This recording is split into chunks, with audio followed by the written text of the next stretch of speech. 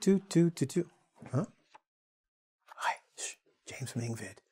I'm going to do a video on uh, phrasal verbs on going out, but I'm just listening to E's conversation. Hold on. Yeah, let's not ask James over tonight. What? E? Excuse me for a second, guys. What do you mean don't ask James over? Why aren't you going to invite me? In English, we use a lot of phrasal verbs uh, to talk about interactions, social interactions, when we get together and what we do. Today's lesson, I'm going to take some phrasal verbs and I'm going to show you how we use the prepositions to affect the verb to talk about how our meetings are going, whether our plans fell through, whether I'm going to ask you out or we hook up. So you'll know the difference and you'll be able to understand them in context. Are you ready? Let's go to the board. Traitor. So E doesn't want to ask me over. Okay, so we're going to get there and find out what he means by that. But let's first take a look. I put cheers because a lot of these idioms have to do with social interaction and how we meet or don't meet. So let's start with the first one. I'm going to start over here, out. Well, when you ask somebody out, it's to invite them to go out and do something. Seems obvious, yes? But when we ask someone out, usually it's a member of the opposite sex. So as a man, I will ask a woman out for a date. So you might go, hey, uh, I was wondering, uh, Lori, could I ask you out for dinner tonight? Now, you wouldn't say that to just a friend because you'd say, hey, you want to go out? In this case, I'm asking you out so you can say yes or no. So asking you out means to get out of the house or go out, go outside somewhere. And specifically, we usually use it for romance. So keep that in mind, right? Because when we're talking about out, we're leaving something. We're going outside of a boundary. Now, you see get out and go out. And you're probably going, duh, we know what that means is to leave. Actually, no. If I said to you, I don't go out very often, remember I told you to go outside of a boundary? Well, going out in this case means I don't have any fun activities that I do. Yes, it does entail or it does involve involve leaving, but more it's more going to do fun activities. So if I say to you, I need to go out more, I'm not saying just leave my house, but I want to do something. Movies, dancing, singing, vacation. I need to get out, right? Or I go, you need to get out more. I don't mean just leave your house.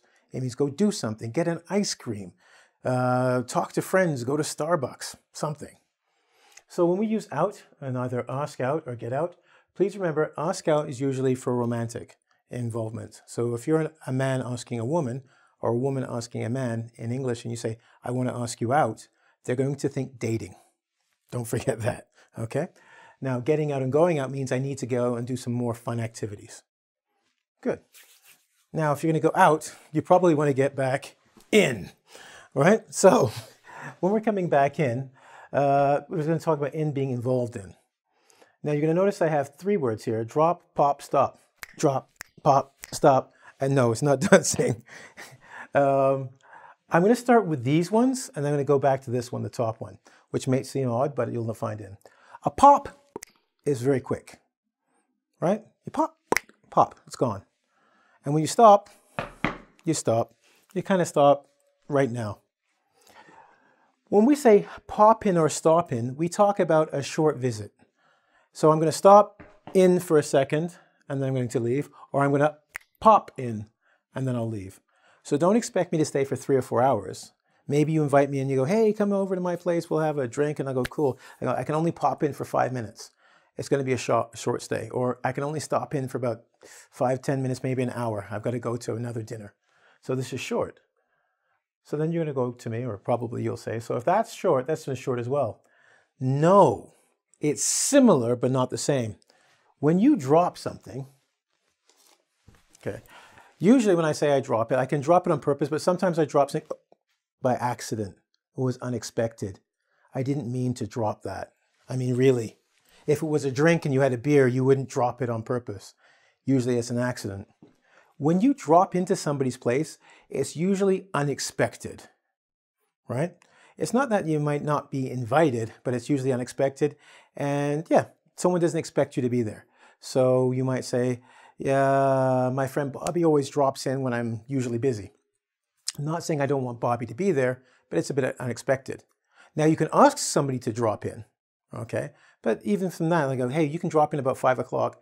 I'm kind of giving it, it wasn't planned. Maybe I'm offering it out to you now.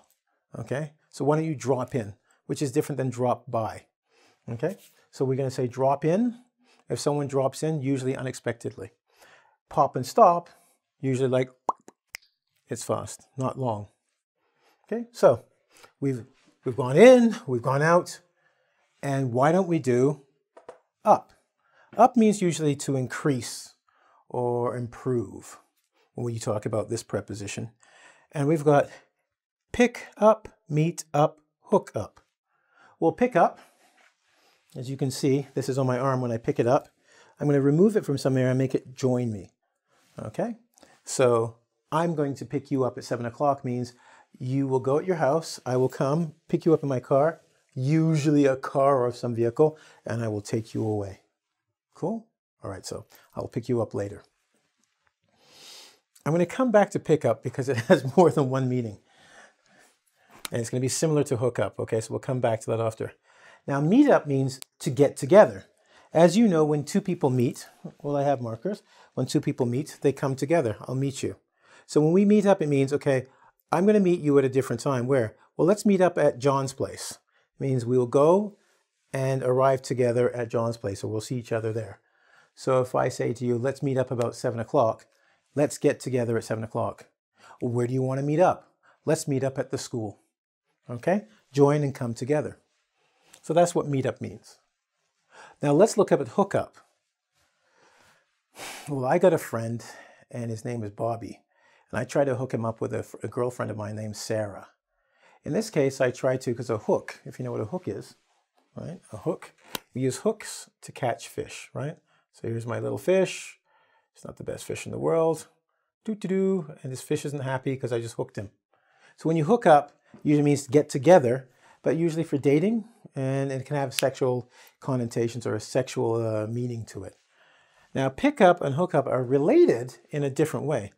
If you pick someone up, it means to go out to look for someone of the opposite sex. So it means if you're trying to pick up girls, you'll go to the bar and you're like, hey, I'm Bobby and uh, I'm here to meet some friendly girls, right? Or if you're a girl, uh, yeah, you can pick up guys too. It's the 21st century.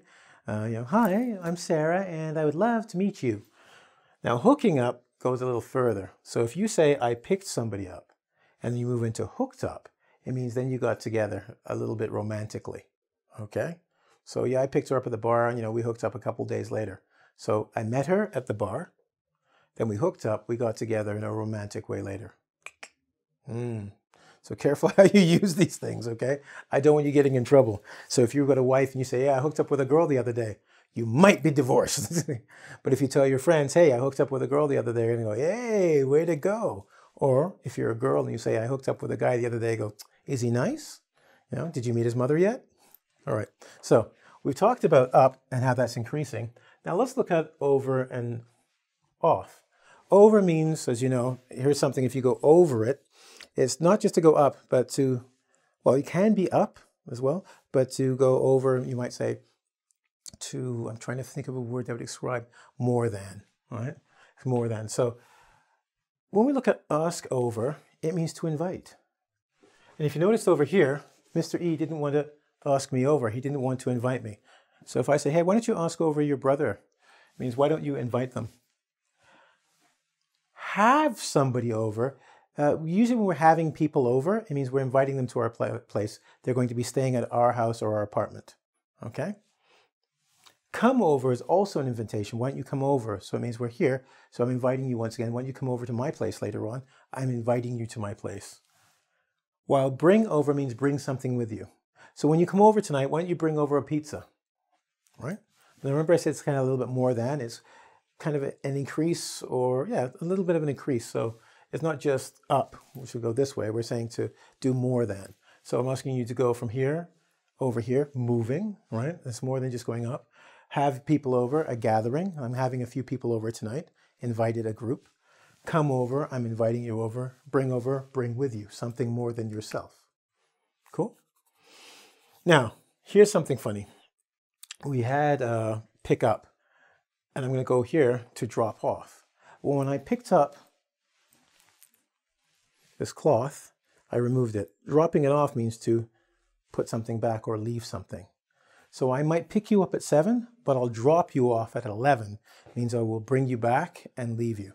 Or I can drop you off at the subway, which means take you to the subway and leave you. Now, before I drop off this conversation and move to uh, the board for a test, let's quickly go through it, make sure you got everything. When we ask somebody out, be careful. Oh, before I forget something, because uh, Lorenzo from EC, thank you very much for Lorenzo. I met you at the train and you said this would be a wonderful lesson for my uh, for some students I know. I'm like, so here you go. Okay, this one's for you. Thanks, Lorenzo. Anyway, where was I? So before I drop off this conversation and go to the test, we'll quickly go over. Uh, scout can usually be romantic, so be careful how you use that one. Get out or go out means to have fun. Go do something fun, not just leave your house.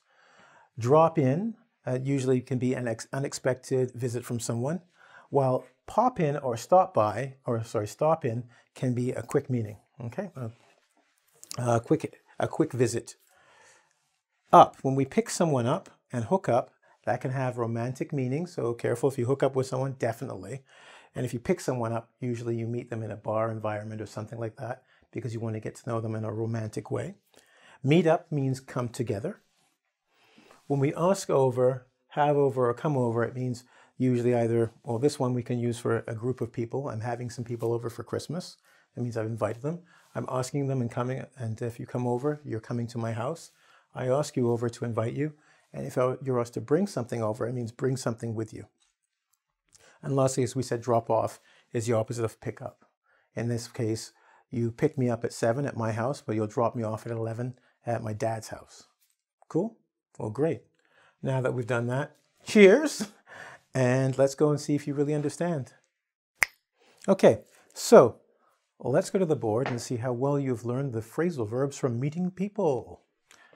Now, this is really long sentences, and when we're done with this, we're probably going to see, you're going to see a lot of this stuff or information disappear. A lot of it's unnecessary, and that's why we use phrasal verbs. You'll notice on the bottom, I have written out a bunch of phrasal verbs. Some we'll reuse over and over again. And you'll notice this one, you'll go, you didn't teach us this one. I will teach it to you in the bonus section. Let's see if you can figure it out by this, you, how we use the sentence. So let's start at the top. Let's identify what we should change. Now we did the other phrasal verbs and I gave you definitions. So some of these things should jump out at you right away that, oh, we could use a phrasal verb here. Other things may not be as obvious. So Genghis wanted to do something fun out of his home. Hmm, Okay, so I'm going to say something up here. We did one with that on Friday and go somewhere with some old friends. And look how it's not one or two words. I'm almost taking on an entire sentence here. He decided he would invite some friends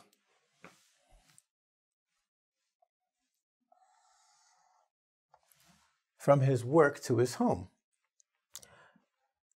When James came to his house, when I go, uh, when James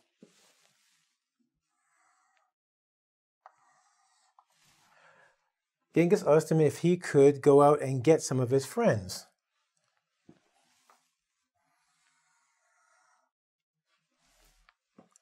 And bring them back to his place. Is there anything left of the sentence?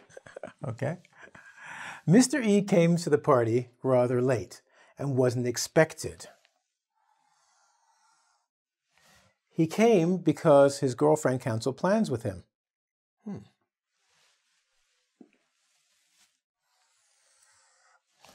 He had brought to Genghis's home a pizza and some beer.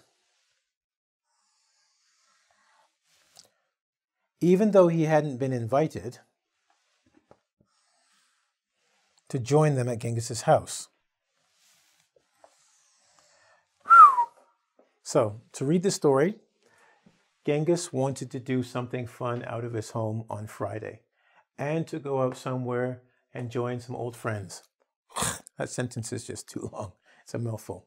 He decided he would also invite some friends from work to his home when James came to his house, Genghis asked him if he could go out and get some of his friends and bring them back to his place. Once again, a lot of words. When we're done with this, we're going to make it so much simpler. Mr. E came to the party rather late and wasn't expected. He came because his girlfriend canceled plans with him. He had brought to Genghis's home a pizza and some beer, even though he hadn't been invited to come and join them at Genghis's house.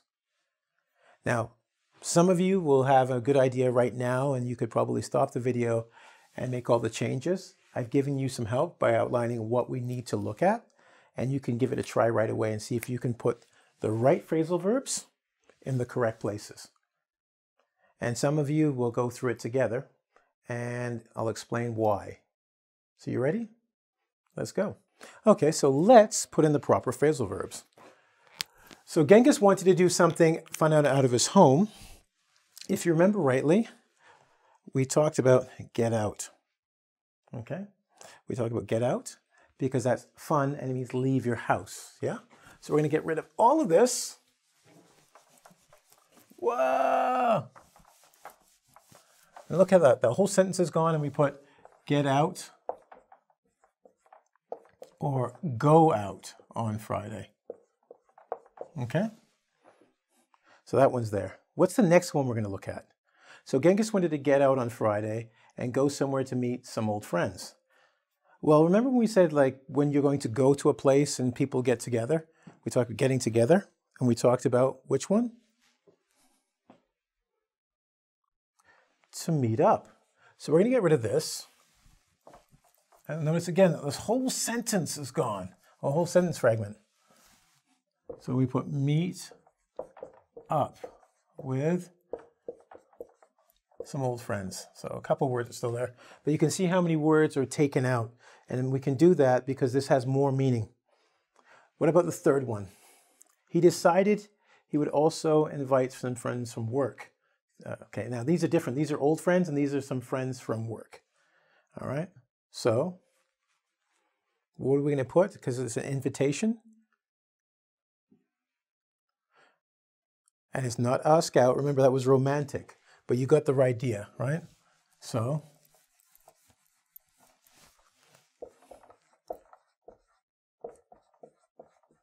so he's asked these people to come over to his house. Okay, so he's going to meet up with some other friends at a bar, maybe, I don't know. And then he said, hey, when I'm done, that, I'll ask some people to come to my place. What about the next one? When James came to his house, you kind of helped because that verb's going to help you. What do you think it will be? Good. Notice how we said came over was an invite to somebody's home? Well, in this case, we're going to have James come over, come over to his house, or when James came over. Genghis asked him if he could do something. What do you think it will be? In fact, I told you we're going to do two at the same time on this one. So you have to know they're kind of related. We've already used came over. Well, yours used get out and meet up. Which two are kind of really, uh, related? That's right. Remember I talked about pick, drop off, and pick up? So let's look at these two sentences here. We can eliminate a lot of the words simply by saying, if he could pick up Unfortunately, I erased some, but it's like pick up some, and you notice how many words disappear there? Some of his friends. And do what? Yeah, so there's, there's them right there, right? And drop them off at his place. All right, so I'm going to put this at his place. All right where we don't need to, we can say, hey, can you pick up some friends and drop them off here? Next, Mr. E came to the party rather late and wasn't expected. Hmm. Now, we have to actually change the sentence and we can make it easier, right? So, if we go here, because we got rather late, I still need that because it tells me when he came, but we're going to go here. And remember we talked about not being expected or doing it by surprise? That's going to be dropped in. And we're not going to say came, but Mr. E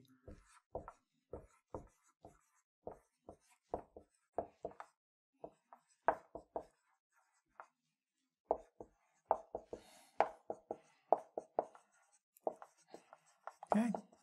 It's almost the same as the last one, but we've moved it around. But you know, he dropped in rather late to the party, so we're saying that, okay? Now this is complex, and this is the one you might be surprised because I haven't taught it to you yet, but you'll understand it and you will be able to use this one when, when you need it. Okay, so it says he came because his girlfriend canceled plans with him. Well, we have a, phase, uh, a phrasal verb, fail, fall, fell, and through means like through a hole, so fell through. So something went through, didn't it wasn't caught. So if I try to catch it, it falls through, I miss it. Okay, it's like missed opportunity. So we're going to have to change this, but you'll understand because it means when something fell through, which is this one here, it means you had a plan, but it didn't happen. You had a plan, here's your plan, and you're like, I'm going to do my plan. Ah, I missed my plan. It fell through. Okay, so we're going to go here. He came because, look at this, we're going to, all these juicy words have to go away. He came because his plans with his girlfriend fell through. And this could happen to you. You're planning on going to play soccer today. It's a brilliant day. You get all your friends, you call, you say, we'll have a picnic, we're going to go out. And then it's raining and it's storming for hours. Well, you go, I was going to go up, but my, pan, my plans fell through because the weather changed, right? Or I was going to fly to Paris, um, but I, to go get a job, but my plans fell through because they canceled giving me the job. So your plans don't actually happen. So he came to the party unexpectedly. No one expected him to be there. He came late because his plans fell through. And all of a sudden, all of this makes more sense. Why did he come late? He had plans that were canceled. Okay? And was he expected? No, because people probably knew he had plans. Okay? He had brought to Genghis's home a beer, a pizza, and some beer. What do you think we should use? Yeah, it's kind of might get obvious. We're getting down to the last ones. So he had brought over. Right? We don't we don't have to say to Genghis's home. We just say he had brought over. Because it's understood. Remember we talked about bringing something over to someone's house, asking them over, coming over. So in this case, he brought over a pizza and some beer. You don't need to say to a house. And that's the beauty of using phrasal verbs. It's understood without being said. So you don't have to, I should say this. I tell students many times you have to say everything in English. English is a stupid language. You must say everything. We use phrasal verbs so we don't have to. so that's why I'm teaching you this to, to, you, right? So you don't need to say brought it over to his home. It's understood brought it over to his home because that's where the party is. Okay? And even though he hadn't been over, invite sorry, he hadn't been invited to come and join that Genghis's house. I'm going to be reusing one we asked here and see if you can find out what it is. Okay, so we got brought over. What's left? What's left? Okay, even though he hadn't been asked over. So even though he hadn't been asked over and we don't need to say, you can say act uh, to Genghis's house if you really wanted to, but look, all of this goes away to Genghis's house.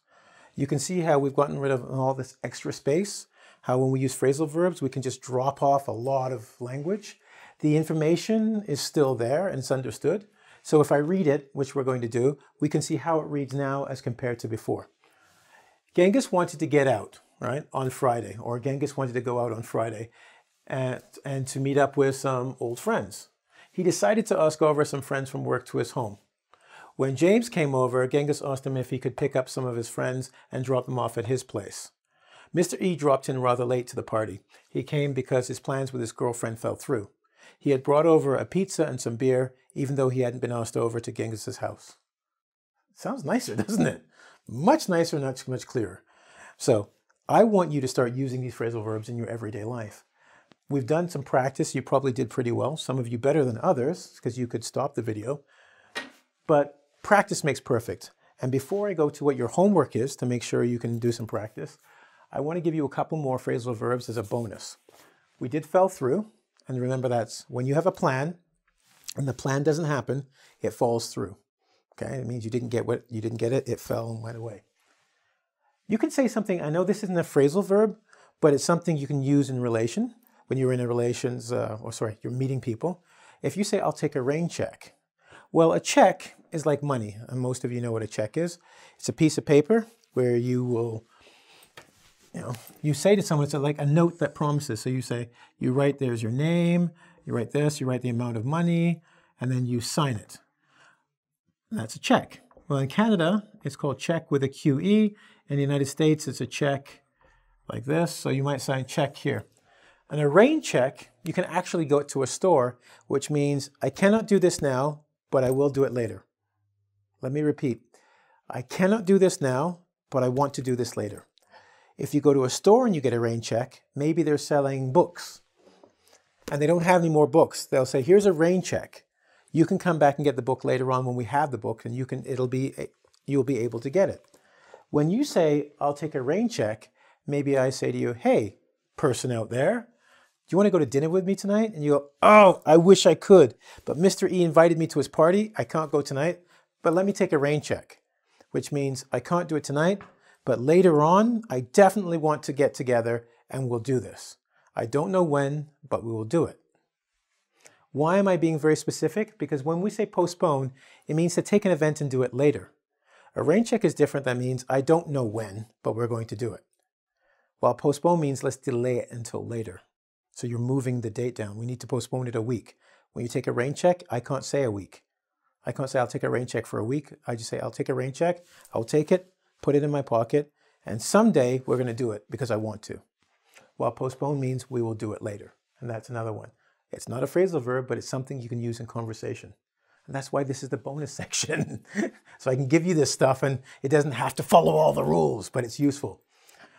Now, what happens if you run into someone or bump into someone by accident? So you're walking and you're like, oh, hey, Jerry, fancy meeting you here. What a surprise. I didn't think I'd meet you here at church. you know, or I didn't think I'd meet you here in the library because you don't like to read. Uh, okay, so run into, run, bang, bump into means like to, boom, hit into someone. It means accidental meeting. Okay, so you're meeting someone by accident. You weren't planning on it. You were grocery shopping. You looked up and you go, hey, it's nice to meet you here. I haven't seen you in five years. I'm surprised to see you here. You can use either run into or bump into. Okay, now here's something you can say to somebody when you run into them or bump into them and you haven't expected to meet them and it's been a long time. You can talk and say, what have you been up to? Or what are you up to? What have you been up to? This means you have not seen each other in a while, and I want to know the activities you've done. So I if I haven't seen you in five years, and I say, hey, what have you been up to in the last five years? It means, what have you done from the last time I saw you up until today? You don't have to give me today, well, this morning I woke up and had a shower, I had an egg, and then I walked the dog, and then I went to the washroom, then I put on, I don't need to know that. I just mean generally tell me what's changed in your life. And if I say, what are you up to? It could be you're doing something, you say, oh, well, I'm making some dinner right now. What are you up to? So to be up to something means what are you doing or what have you been doing? Present perfect means from the time that I last saw you up to now. And what are you up to means now. So what are you up to? You might say, hey, I'm working at a law firm. Just started last week. And what have you been up to? Well, well, it's been a long time. Got married, got some kids, moved country. Present perfect, over time up to in the moment. Cool? All right, so you just bumped into your friend and you got something interesting to say. Homework. okay, so homework here. What I'd like you to do is write a short story that you can practice. You can make an event like Mr. Genghis from Turkey did, or uh, you can have Mr. E and I in your story. You could ask us to meet up with you. You can ask us over. And I, do like to be invited over. Asparagus is my favorite vegetable. Okay. um, uh, so write a story you can practice with a friend. So you can, you know, invite them out and use these words. You know, my plans fell through. What are you up to tonight? Oh, I'm not doing very much. Hey, well, why don't you come over? Uh, I'll bring over, and you can do that. And you can go to Engvid because I have seen lots of people under the videos, actually practice some of the stuff, and go to the website after doing the quiz, joining the community there, and exchanging sentences. I'd like to see you there. Anyway, I've got to get going, but please don't forget to subscribe and click that bell. Um, when you do, it not only rings here, but any new video I put out, it'll be brought directly to you. All right? And you can also go to www.engvid.com. Anyway, hope you had fun. Um, To take a rain check and hanging out here. We'll have to do this again, though, right? And uh, yeah, I don't know. I'm to pick up some Chinese food on my way out of here. See you later.